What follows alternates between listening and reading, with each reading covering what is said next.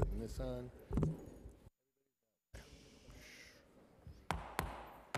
All right, good morning, and welcome to today's hearing. Uh, My name is Andrew Cohen, and I am the Chair of the State and Federal Legislation Committee. On today's agenda, we will be considering four state legislative resol- resolutions. Uh, First, I'd like to introduce the committee members who are here, Councilmember Rafael Espinal and Councilwoman Karen Koslowitz. Uh, I'm going to turn the page onto this side. Uh, The first uh, state legislative resolution this committee will be considering and voting on today is Senate Bill S7780 and Assembly Bill A9943. Uh, This bill is an act relating to granting retroactive eligibility to apply for enhanced Tier 3 status to the family of former New York City police officer Mark Rivera, who died of a heart attack on March 21st, 2015, at the age of 37.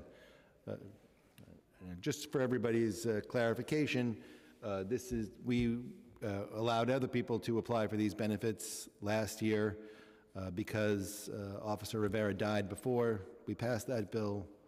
We're going to pass this bill to write that.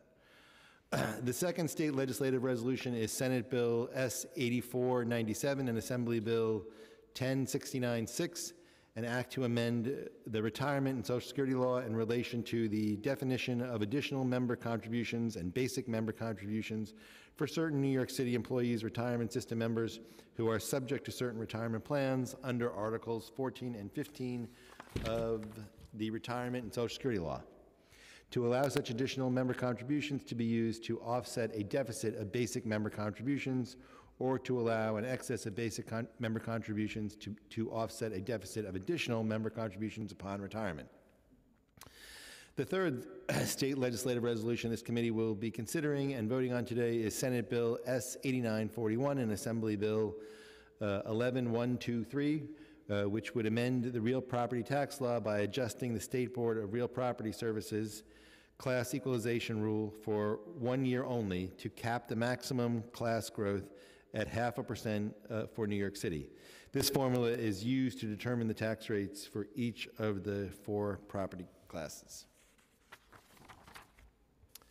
The effect of this change would be to reduce the amount by which the current base por- proportions for any class, including classes 1, 2, and 3 family homes, is allowed to grow, resulting in citywide savings of about $272, $272 for a typical owner of a Class 1 single-family home. If it does not pass, the council must adopt the default SBRPS formula and tax rates for Class 1 residential homes, which would rise to 7%. Uh, The final bill is Senate Bill S6044C and Assembly Bill A7798C. This bill seeks to amend the vehicle and traffic law in relation to expanding the school speed safety program by increasing the cap to 290 schools from the current cap of 140 schools. The purpose of this, of the expansion is to cover more children and increase uh, safety. Uh, At this moment, I would like to open the hearing to any of our committee members who want to make a statement. Going once, going twice. Uh, I didn't, do we have any, uh, is anybody going to testify? Also going once, going twice? All right. I'm going to, I guess, ask the clerk to call the roll. William Martin, Committee Clerk, Roll Call Vote Committee on State and Federal Legislation. All items are coupled. Chair Cohen. Uh, I vote aye. Espinal. Aye. Koslowitz. I vote aye. Rodriguez. By a vote of four in the affirmative, zero in the negative, and no abstentions, all items have been adopted by the committee. I think we're going to ask the clerk to keep the, the record open.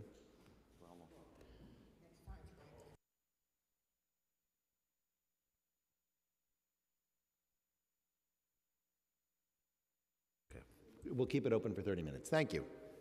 All right, thank you, everybody.